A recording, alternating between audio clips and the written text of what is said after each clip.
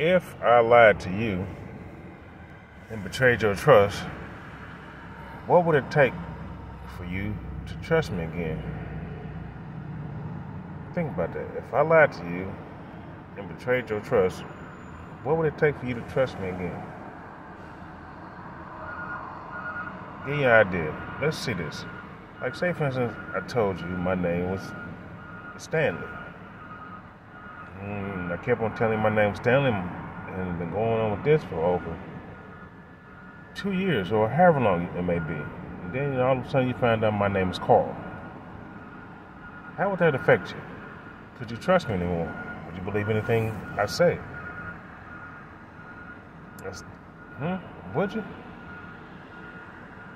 Probably wouldn't. So, how do you expect Jesus to trust you with his love?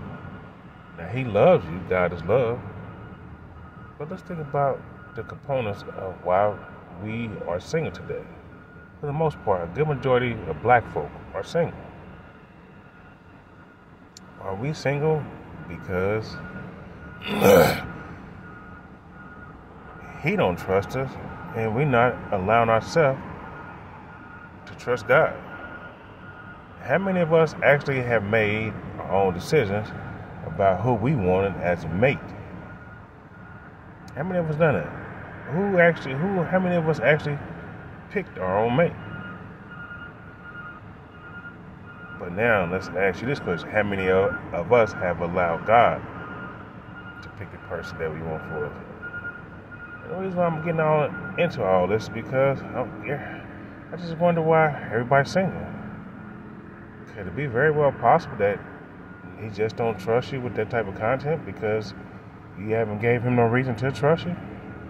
The reason why I say this is because we all have betrayed his trust we all have did something insignificant towards him. Whether it be a lie or not, just not telling the truth. I mean, just think about that. Just think about that. All of us, same, at least I know I haven't.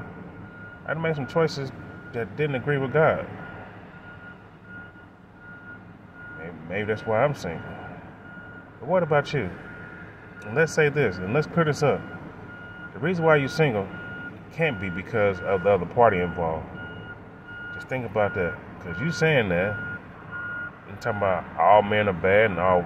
Uh, you saying that all men are bad as women goes, then men saying all women are bad, that means you're lying on God.